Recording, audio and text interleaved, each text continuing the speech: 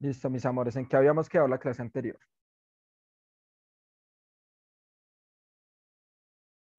Eh, retículo endoplasmático liso, eh, lípidos igual grasa. ¿Lípidos y qué? Lípidos, igual grasa. grasa. Ah, ya, ya, ya. Grasas. Ok, ok.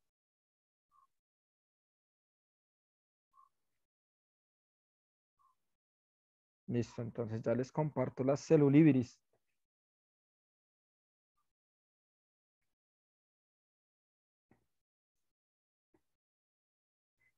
Profe, ¿y hay más tipos de células, de célula animal y célula vegetal? ¿Cómo? Ah, sí. No, no, no, no, no, nada.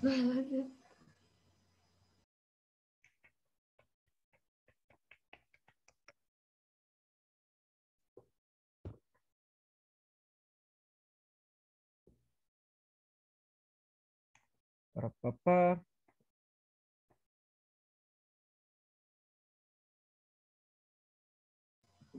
Profe, hay más células de... ¿Qué? Hay más tipos de células aparte de célula animal y vegetal. Claro que sí, claro que sí. Digamos, tenemos eh, células de los protozoos, por ejemplo, miremos.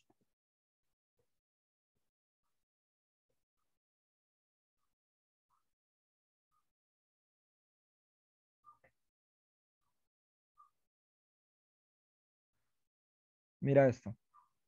¿Mm?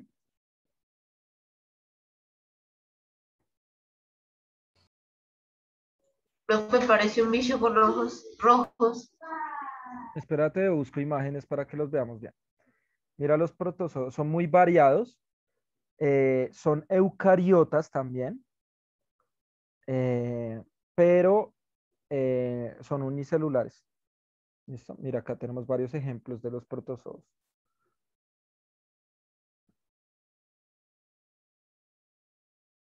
Son como bacterias. Ah, ah, bacterias. no, no, no, no, no. Muy diferentes a las bacterias. ¿Por qué? ¿Cuál es la principal dif- diferencia entre un protozoo y una bacteria?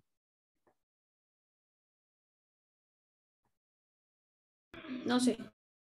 Se las acabo de dar, se las acabo de forma? decir, les di la respuesta. ¿Cómo? ¿Su forma? No, digamos que incluso el paramecium podría verse entre comillas similar, aunque las bacterias son mucho más pequeñas.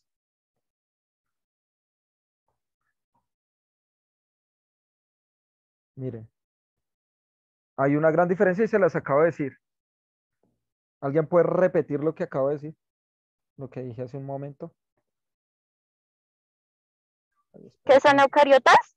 Muy bien. Esa es la principal. Eh, ah, bueno, casi ahí les está. Son eucariotas, ¿no? Células eucariotas. Es decir, las bacterias son Prostista. procariotas, los protistas. Procariotas. A ver, entonces. eh, a ver, miremos acá. Sale, chan, chan. ¿Qué dice acá? Miren esto. Estos son los protistas. Los protistas, ¿cierto?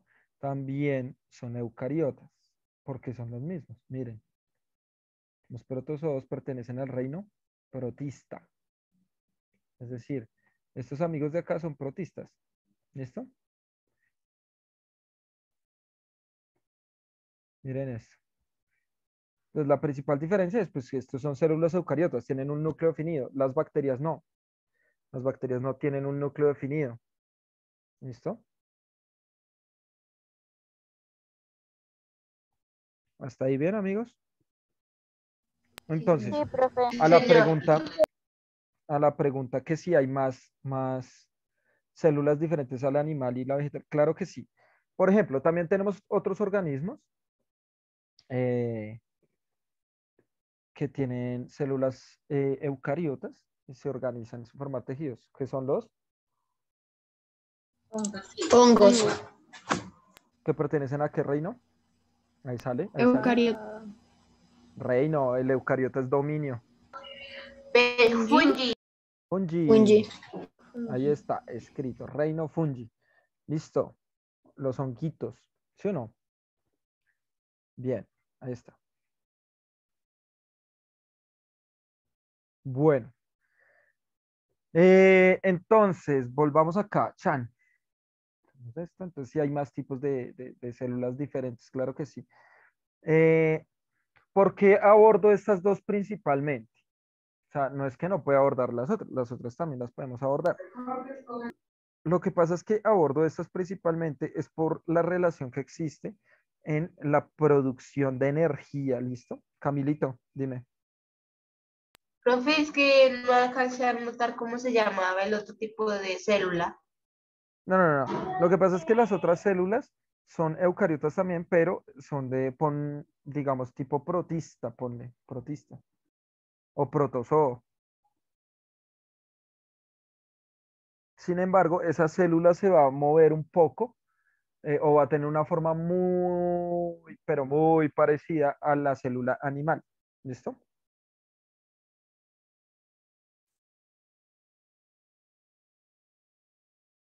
Listo, profe, gracias. Listo. A ver. Bien. Entonces, habíamos quedado en el retículo, ¿en cuál? En, Retículo endoplasmático liso. listo. ¿Qué hacía el retículo endoplasmático rugoso? Eh, que ¿El rugoso? y, eh, creaba Proteínas. Ah, Proteínas. proteínas. Listo. Crea proteínas, el rugoso. El liso sí crea lípidos. Listo. Muy bien. Eh, ¿qué haría entonces el, el citoesqueleto? Ah, fortalece los huesos, creo. ¿Fortalece los huesos? Mm, no. Estamos hablando solo de una pequeña célula. Hay animales, hay animales que no tienen huesos, por ejemplo. la lombriz. Eh, gracias, muy bien. Pero tienen citoesqueleto. ¿Por qué? Porque tienen células eucariotas.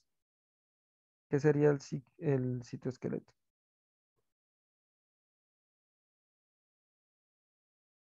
No sé, creo que no sé. Imaginen. Mejor dicho, todo en esta vida, amigos míos, todo, para que aprendamos realmente, hay que relacionar. ¿Listo? ¿Listo? Entonces, empecemos por este lado. ¿Qué sería un el esqueleto? La función del esqueleto. El soporte del cuerpo. Listo. Es decir, el esqueleto tiene una función de soporte.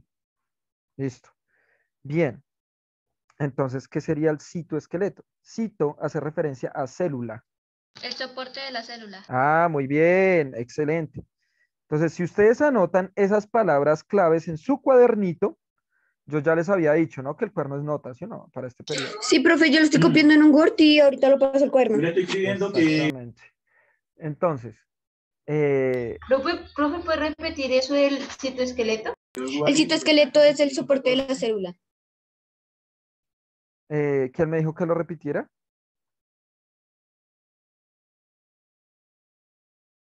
Yo, profe, ¿Quién Camilo. soy yo? Bustos, listo. Eh, miren esto.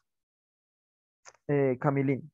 Relaciónalo. Cito hace referencia a célula. ¿Listo? Cito. Citoplasma. ¿Qué significa citoplasma? El medio de la célula, o sea, lo que está dentro de la célula. Cito. Cuando hablamos de cito, digamos, citoesqueleto, hace referencia a algo de la célula. ¿Listo? ¿Ustedes han, escuchado alguna vez en su vida un, un estudio o una toma de muestras que se llama citología? ¿Alguien ha escuchado ese esa palabrita? No, profe. ¿Nunca? No, mentira, sí, creo que Ah, voy a sí. Sí, profe, sí, sí, sí, sí, profe. ¿Qué es una citología? La citología es un examen en el cual eh, te quitan partes de células para analizarlas posteriormente. ¿Listo? De un tejido. Pero lo que van a mirar es las células. ¿Listo? ¿Estamos? ¿Listo? ¿Estamos? ¿Listo? ¿Estamos? Listo, gracias, profe. Listo. Que citología es que te quitan las células para analizarlas, ¿verdad? Sí, una muestra, una muestra de células, ¿no? No, no todas, un pedacito de células. Y las van a analizar. Eso es una citología.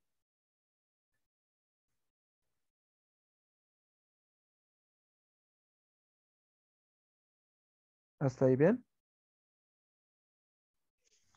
Sí, profe, ya. Gracias. Bien. Membrana plasmática. Bien, entonces el citoesqueleto va a ser muy importante para que todas las estructuras internas de la célula o todos los organelos celulares se mantengan siempre eh, ordenados y en unos lugares específicos donde eh, le va a servir a la célula. Aunque este citoesqueleto se puede mover, ¿no?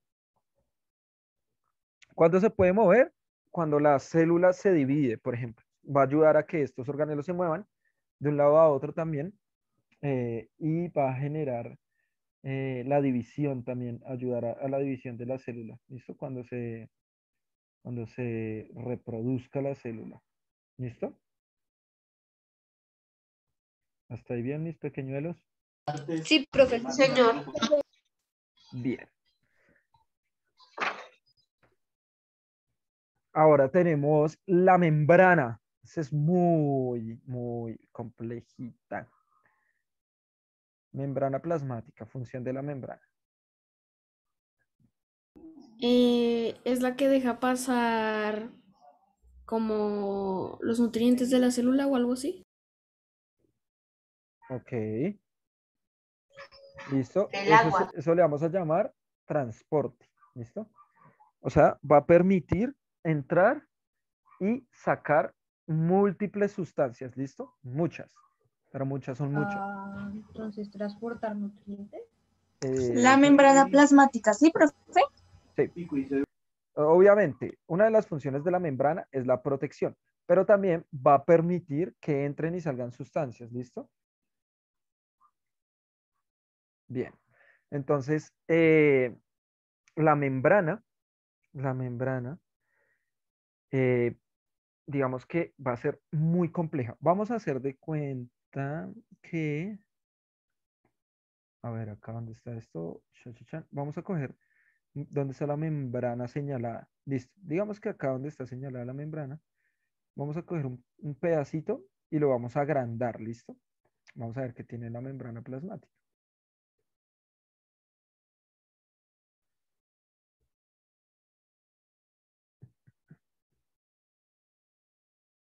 Creo que la membrana también tiene lípidos.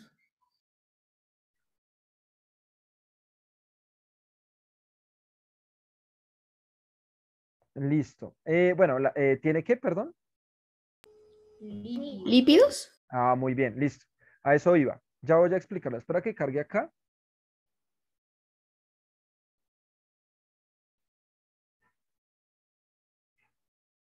Listo, entonces pongamos una más o menos, a ver si esta es grandecita, ok.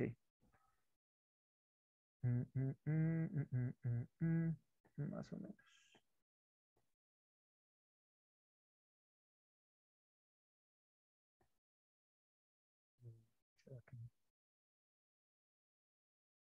Listo. No, no me gustó.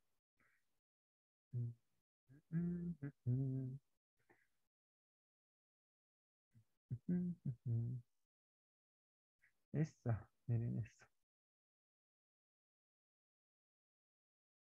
Esto está un poco mejor.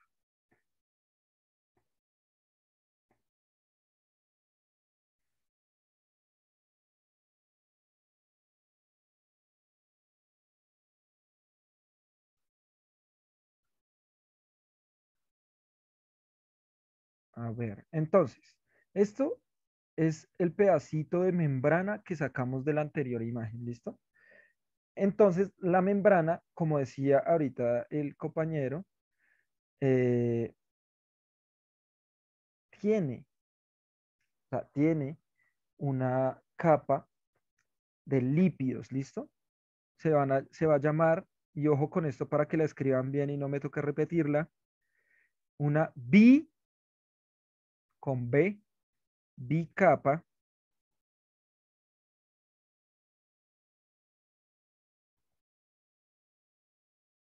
fosfo, de fósforo, fosfo,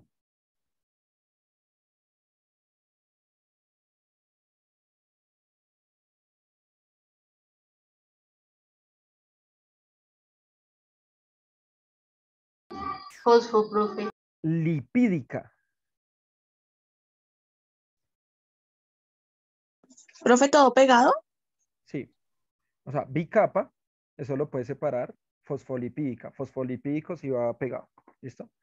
Puedes poner bicapa en una palabra y fosfolipídica es otra palabra. Yo hice eso, profe. Está bien. Entonces sería bicapa fosfolipídica. Listo, ya la escribieron. No entienden nada de lo que está pasando en la palabra. Ahora vamos a analizar. ¿Qué nos está diciendo la palabra? Profe, la palabra nos dice que las, la membrana tiene una capa eh, formada por lípidos ¿Una? y, No, varias. quiere decir ¿Una? dos, los que están Ah, arriba y los que están abajo. Ah, dos capas. Ah, listo. Bicapa. Ojo. Bicapa. Bi es dos. Entonces tiene dos capas. Ahora sí, sigue Camilo. Eh, tiene dos capas formadas de fósforo y lípidos. Muy bien. Es decir, tiene una doble capa, tiene doble capa, ¿cierto? En la cual hay grasas y hay una, eh, un grupo de fósforo. ¿Listo? Eso va a ser muy importante. Ya les digo por qué. Ahora, nosotros vamos a tener que el proceso por el cual nuestras células eh, nos están protegiendo y permitiendo transportes de membrana también es gracias a unas pequeñas e importantes proteínas. Se llaman proteínas, ojo con esto, proteínas de membrana. ¿Por qué? ¿Por qué están en la membrana? ¿Listo? Proteínas de membrana. Ahora, las proteínas de membrana van a permitir principalmente el transporte de muchas, muchísimas sustancias.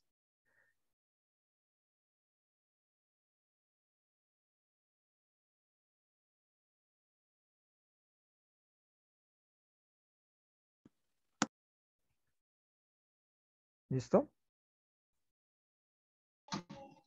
¿me puedes repetir? Eh, Dentro de la, o sea, en la membrana celular, vamos a encontrar eh, proteínas de membrana. ¿Listo?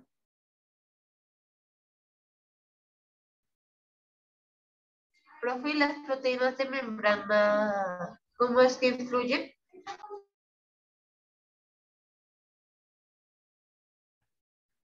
Eh, permiten el transporte de sustancias. O sea, que entren y salgan cosas, póngale así, que entren y salgan cosas de la célula y ya vemos qué cosas son las que entran y salen, ¿listo? Profe, eso yo lo había visto en el colegio y creo que hay dos tipos de transporte y uno es para gases y el otro es para agua. Bueno, eh, sí, pero también para sustancias disueltas, ¿listo? Ya miramos, ya miramos.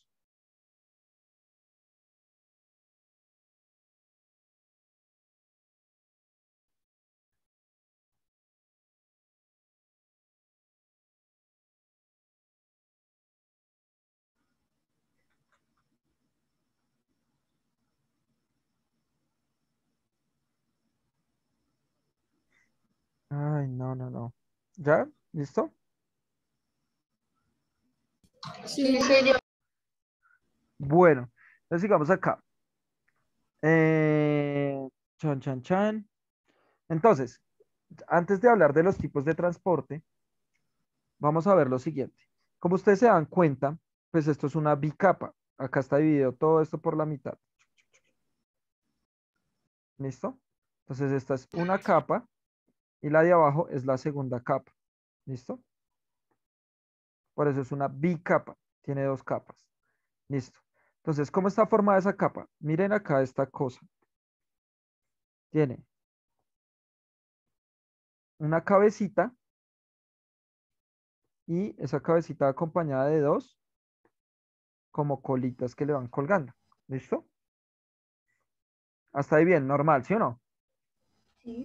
Sí, señor. Y así se irá conformando a lo largo de el,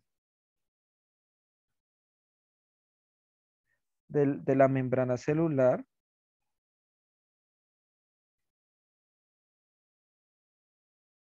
Esperen un momento, muchachos, ya. Y así se van conformando a lo largo de la membrana celular eh, todas estas bicapas lipídicas. Ahora, les voy a explicar qué hace cada una de estas cosas. Vamos a tener una cabecita, bueno, quedó cerca al colesterol y no me interesa que lo, ve- lo vean así. Entonces, vamos a tener esta cabecita que vamos a decir que es, a ver, ¿dónde está? Vamos a decir que es una cabecita hidrofílica. ¿Listo?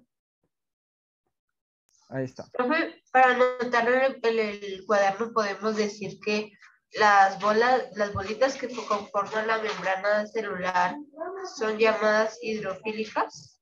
No, Profe, eh, mira que encontré mi otro cuaderno y acá dice que entonces están los fosfolípidos, eh, la Ajá. bolita de arriba es la hidrofila y las paticas de abajo son la hidrofoloa. Ya vamos para allá, ya vamos para allá, con calma. ¿Listo? Con calma. Vamos con calma. Está bien lo que tú tienes en el cuaderno. Muy bien. Ahora, las cabecitas son hidrofílicas, ¿sí o no?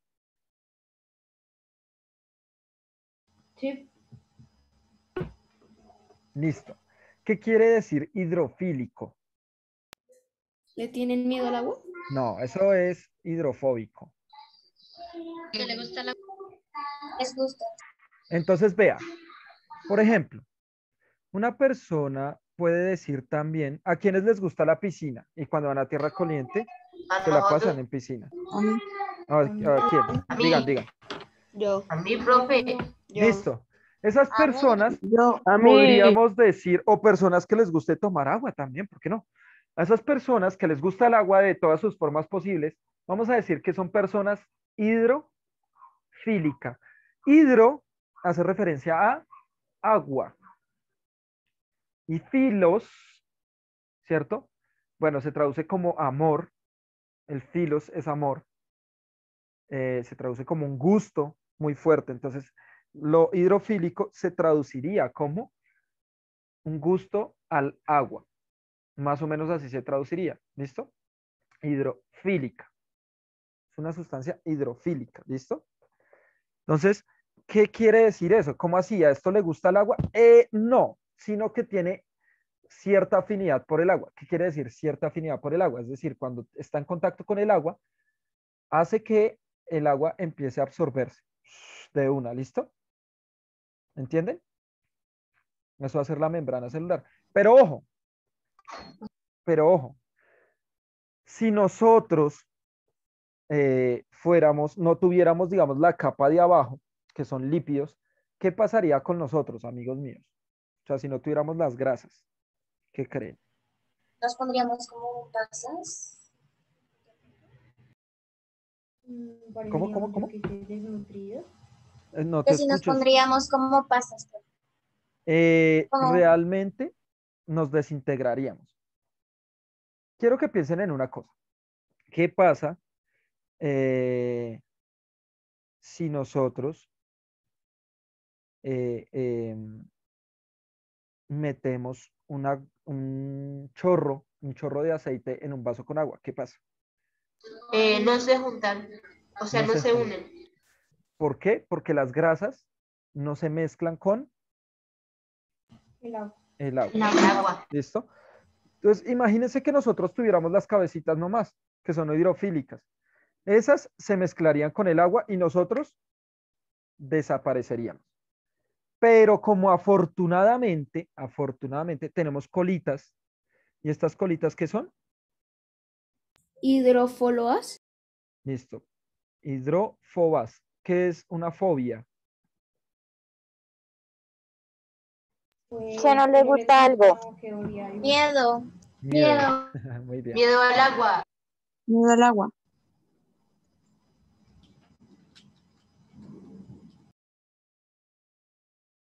Listo. Bueno, ahí quedó un poco oscurita, pero yo se las digo.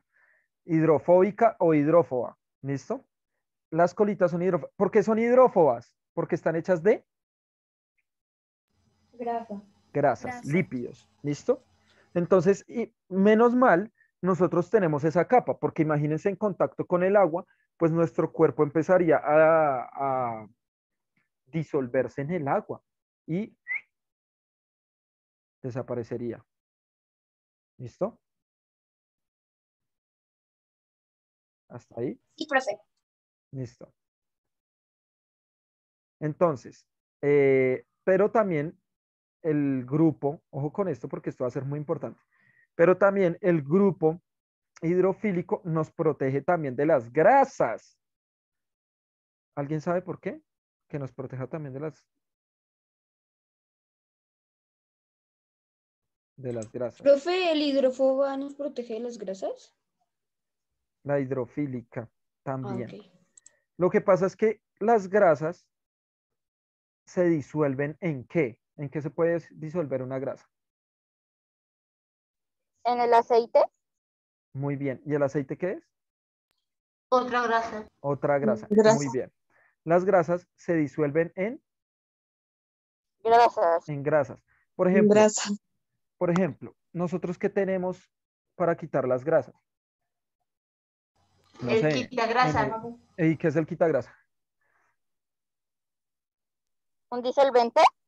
Bueno, tenemos disolventes eh, a base de petróleo, que son de aceites también, pero eh, en la cocina, por ejemplo, el verdadero arranca, arrancagrasa, cuando toca lavar los platos, ¿qué le echamos? Un jabón de la losa. Jabón. El Ah, jabón. El tiene cloro. base de Petróleo. eh, Agua. no, ¿cuál agua? Aceites. Muy bien. ¿Listo? Está a base de aceite.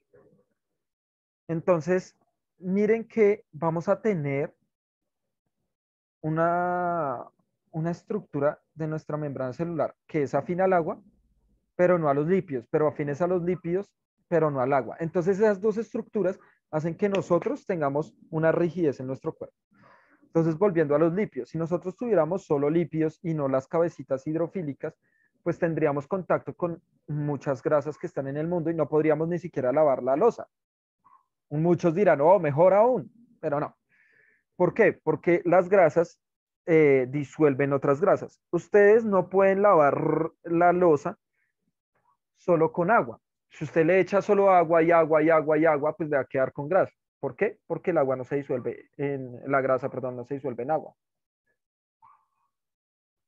Eh, también tenemos una, eh, un, un mecanismo que son los jabones, por ejemplo, que reaccionan y se remueven muy fácilmente con el agua, pero no se mezclan con el agua, sino se remueven. ¿Listo? Entonces empiezan a limpiar, o, ¿y qué es limpiar? Pues digamos, remover esa grasa. Camilín. Ah, no, profe, ya iba a decir lo, lo, lo que tú acabaste de decir del jabón, que Ah, por ok. eso lavamos eh, los, los platos o cualquier cosa con jabón y agua, porque primero le echamos el jabón para quitar la grasa y luego, como algunos jabones se quitan muy fácil con el agua, pues, pues para eso usamos el agua y jabón.